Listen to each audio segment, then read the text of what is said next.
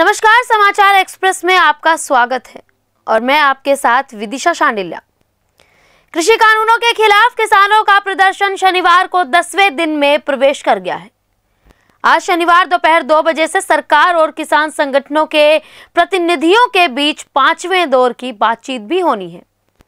वहीं इससे पहले कृषि कानूनों को वापस ना लेने पर किसान 8 दिसंबर को भारत बंद का ऐलान भी कर चुके हैं। किसानों ने सभी टोल प्लाजा पर कब्जे की चेतावनी दी है। यही किसानों का यह भी कहना है कि आने वाले दिनों में दिल्ली की बची हुई सड़कों को भी ब्लॉक करेंगे। किसान संगठन पहले ही कह चुके हैं कि 5 दिसंबर, यानी शनिवार को प्रधानमंत्री नरेंद्र मोदी के पुतले जलाए जाएँगे।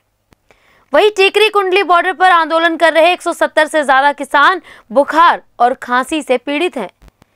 यहाँ लगे कैंपों में हज़ारों किसान दवा ले रहे हैं।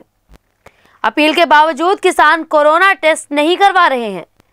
तीन किसानों की मौत हो चुकी है। समर्थन देने पहुँचे महम विधायक बलराज कुंडू, कोरोना पॉजिटिव मिले। आपको यहाँ यह भी बताते चले कि किसानों और केंद्र के बीच गुरुवार को चौथे दौर की बातचीत सात घंटे चली थी।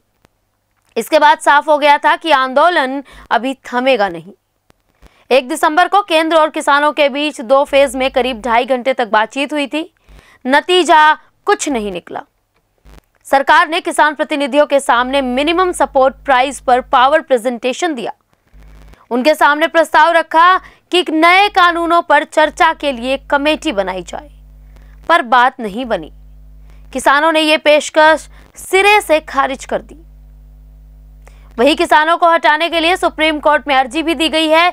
यहाँ पिटिशनर ने कहा कि किसानों को दिल्ली की सीमाओं से तुरंत हटाने के निर्देश दिए जाएँ, क्योंकि प्रदर्शनकारियों की वजह से कोरोना का खतरा बढ़ सकता है।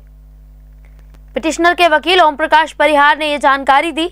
हालाँकि इस अर्जी पर अभी सुनवाई का दिन तय नहीं हुआ है। बताते चले, किसान आज दसवें दिन भी कृषि कानूनों को रद्द कराने के लिए डटे हुए हैं। ऐसे ही लेटेस्ट खबरें पाने के लिए बेल आइकन को क्लिक कर हमारे चैनल को लाइक शेयर एंड सब्सक्राइब करें धन्यवाद JBD Banquets lie हैं incredible marriage palace Rajgharana and the finest banquet hall Jyoti Garden. World-class catering, centrally air-conditioned, lush green lawns, state-of-the-art lighting. A perfect venue for wedding, launching and parties. Rajgharana and Jyoti Garden at JBD Banquets Enterprise.